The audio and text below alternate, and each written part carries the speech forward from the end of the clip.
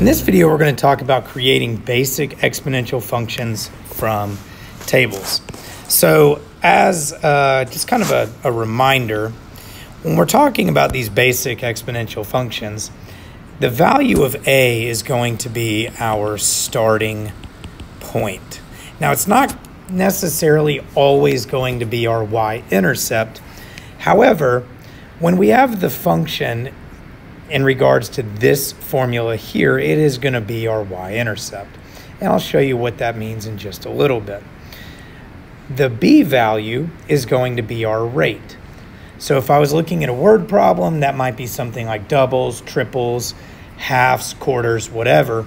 Well, that value would go in for our b, and whatever we start with would go in for our a. x is always going to be our, our, our time or our measurement whatever we're looking at.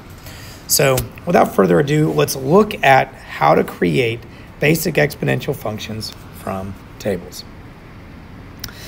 So in this first example, we have this table. It goes from negative 2 to 2, and the question asks us to write an exponential function from the table.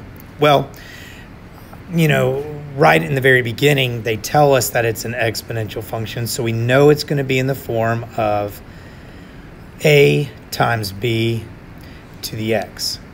Now, when the easy way to kind of think through this is to find a that is going to be wherever x equals 0. So it's very similar to our y-intercept in a linear function.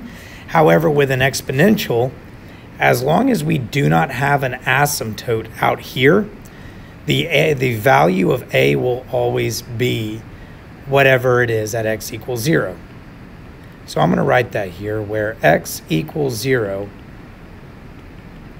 with an asymptote at y equals 0.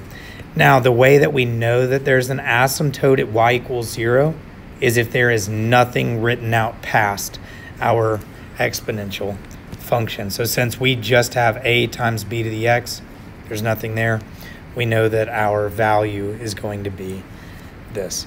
So when I go to create this, uh, this function, I can say f of x equals a, which is 2, because we're getting that from x equals 0. Now I want to find whatever my, my b value is. And this is very simple. I can take two different points. So in this particular case, I'm going to take 232 and 1 8. And we look strictly at our y values. Now, all I have to do is take my second y value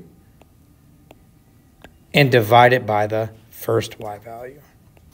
32 divided by, by 8 gives me 4. So I wind up with 2 times 4 to the x. And that is my exponential function from a table.